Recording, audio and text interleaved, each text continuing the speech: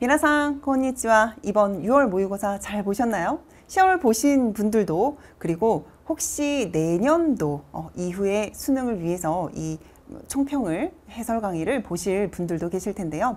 아, 이번 시험은 모든 학생들이 한 목소리로 말씀해 주셨어요. 선생님이 강조하셨던 거 그리고 늘 항상 설명하셨던 것들 그대로 풀었더니 다 맞았어요. 이런 기분 좋은 그런 피드백을 받았습니다. 아, 결론부터 좀 말씀을 드리면요. 자, 일단 첫 번째 2월, 6월 모평은 기본 어휘, 기본 문법의 충실한 내용이었습니다.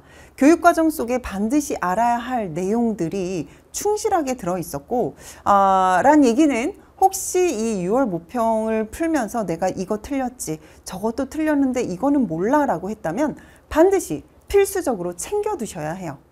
반드시 그 문항들을 한 번 더 풀어보시고 그리고 보충 설명 혹은 어, 그 질문 게시판을 통해서 저한테 확인해서 숙지하고 가셔야 합니다. 기본 어휘라고 말씀드렸던 건 우리가 어휘 문항이면 보통 2번, 3번에서 스펠링을 물어보죠. 그런데 2번, 4번이 끝나고 4번, 5번으로 들어가면 바로 다이어가 나오거든요. 다이어는 그동안 우리가 아, 예상치 못했던 어떤 어휘의 확장된 의미 이런 것들 때문에 늘 긴장하고 있었는데 그 다이어 두 문항 4번, 5번조차도 우리가 늘 항상 강조하고 기본적으로 반드시 숙지하고 있었고 학습했던 어휘들에서 또 나왔습니다. 따라서 여러분들이 지금 진도를 잘 밟고 가고 있는 중인가를 확인하고 싶어 하는 그런 6월달 시험이 아니었나라는 생각이 돼요. 기본 문법도 아주 기본적인 계속해서 기본이라는 어휘를 쓰고 있는데요. 그런 어미 활용에 대해서 물어보고 있으니 조금 후에 좀더 어, 자세하게 설명을 드려보도록 할게요. 자, 두 번째는 의사소통의 긴장감이 완화됐습니다. 아, 콕 집어서 한국식 표현. 제가 늘 항상 한번어 이렇게 얘기하기도 하죠. 어, 마치 콩글리시 같은 일본어요. 아, 그런 것들 때문에 우리가 모두 고르시오 혹은 들어갈 수 없는 표현들 아, 한국어로 해석하면 맞는데 문법적으로도 틀린 게 없는데 나중에 봤더니 틀렸던 그런 내용들이 굉장히 많았었어요. 따라서 의사소통에서도 함정 문제 등급을 꼭 나눌 수 있게 하는 변별형 문제들이 꼭 한두 문항은 나왔었는데 그런 한국식 표현에서도 충분히 이건 한 번어다라는 눈치를 챌 수 있을 정도의 그런 의사소통 문화들이 나왔었고 그리고 유난히 그림이 많았었죠. 실은 그림으로 보는 순간 이런 뭘까요? 반사적으로 주고받는 그런 인사 표현이 머릿속에 퉁 떠오를 수 있게 힌트를 많이 줬던 것 같아요. 따라서 어, 중간 페이지, 두 번째, 세 번째 페이지를 푸시는 그 시간 속에서도 여러분들이 좀, 좀 마음을 아, 편하게 잡고 시험에 임할 수 있었다고 생각이 됩니다. 어, 이런 형태로 내린 결과는 9월 수능 대비에 있어서 우리의 자세입니다. 어, 일단은 어, 진도를 좀 많이 못 나가신 분들이 계실 것 같아요. 음, 6월 모평 제가 아까 말씀드린 것처럼 교육과정에 아주 필수적인 내용을 담고 있는데도 불구하고 내가 틀렸다. 아 어떡하지? 너무 초조해하시지 마시고 지금부터 이제 그걸 알았으니까 지금부터 여러분들이 남은 진도 충실히 성실하게 어, 밟아가시면 됩니다. 기출물이 필수, 아, 기출풀이 필수라고 말씀을 드렸는데요. 계속해서 발음이 좀 세네요. 자, 기출이라고 강조드린 이유는 뭐냐면 제가 해설 강의에서도 이제 말씀을 드리겠습니다만 오랜 시간 동안 빈출되어 왔던 그 빈출 어휘가 계속 빈출이 되고 장단컨대 앞으로도 계속해서 나오게 될 거예요.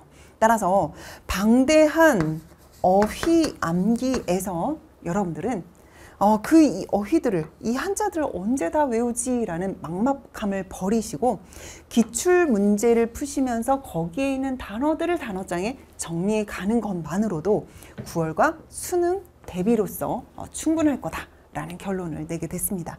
좀 더 자세한 내용들은 뒷페이지를 보면서 설명을 드려보도록 할게요. 자, 수능 일본어도 그 작은 페이지 속에 다음과 같은 네 개의 파트로 또 내용이 나뉘게 되겠죠. 자, 문자 어휘는 보통 첫 번째 페이지, 즉 1번에서 5번까지의 문항인데요. 자, 바로 어, 카타카나는 1번 문항에서 그리고 기본 어휘가 2번, 3번 문항에서 물어봅니다. 철자 물어보죠. 단어 성실하게 물어봤는지 물어보는 겁니다. 자, 그리고 한자도 같이 2번, 3번에서 물어보는데 어, 늘 항상 장음을 가진 단어들을 여러분들한테 함정 파서 물어보게 되고 따라서 이 장음을 가진 어휘들을 위주로 여러분들이 명사도 뭐 형용사도 외워가시면 좋은데 아까 말씀드린 것처럼 계속해서 빈출 어휘들이 반복되고 있기 때문에 기출 풀이 기출 문제 단연간의 기출문제 풀이하면서 거기에 들어있는 2번, 3번 문항의 어휘들만 정리하셔도 충분히 수능 대비가 될 수 있다라고 말씀드릴 수 있어요. 자, 다의어 같은 경우는 제가 동사에 가장 많아요 라고 늘 말씀드리거든요. 그 다음이 이 형용사이고 그해 시험을 조금 어렵게 되고 싶다라고 하면 그 다음으로 많은 아, 부사를 시험에 내기도 하는데 아, 늘 항상 작년에도 올해도 계속해서 동사와 이 형용사에서 이것만큼은 꼭 알아야지 했었던 그 뻔한 단어들이 기출이 되고 있어요. 어, 따라서 여러분들 어, 수능 특강도 좋고요. 제 교재인 요것 봐라 교재도 좋습니다. 이 형용사, 나 형용사에 다 어, 다의어가 정리되어 있는 페이지를 여러 번 시간 날 때마다 반복하는 것만으로도 충분히 대비가 될 수 있다라고 안심해 주셨으면 좋겠어요. 의사소통과 문화독해는 문제가 섞이면서 계속해서 나오고 있죠. 자, 의사소통인 것 같으면서 문화를 물어볼 수도 있고 문화를 물어보는 것 같으면서 이제 독해 형식으로 문제들이 짬뽕이 되고 있는데 이때 의사소통에서 음, 정말 눈에 띈 게 그림이 참 많이 나왔다. 아, 즉 상황별 의사소통에서 이 상황이 파악이 가시적으로 파악이 되기 때문에 늘 항상 반사적으로 음, お元気ですか? はい, 元気です 라던가 お久しぶりです, お変わりありませんか 뭐 いただきます ごちそうさまでした 이렇게 반사적으로 주고받는 의사소통이 머릿속에 떠오르자마자 선택지를 다 읽지 않고 정답만 정답만 고르면서 시간 절약이 참 됐겠구나 라는 생각을 많이 했었습니다. 관용적인 표현도 그렇게 많이 나오지 않았었죠. 많이 나오지 않아서 그래서 제가 독해지문을 읽으면서 아 이런 관용 표현 알아두세요 알아두세요 라고 하면서 여러분들한테 설명을 드리게 될 거예요.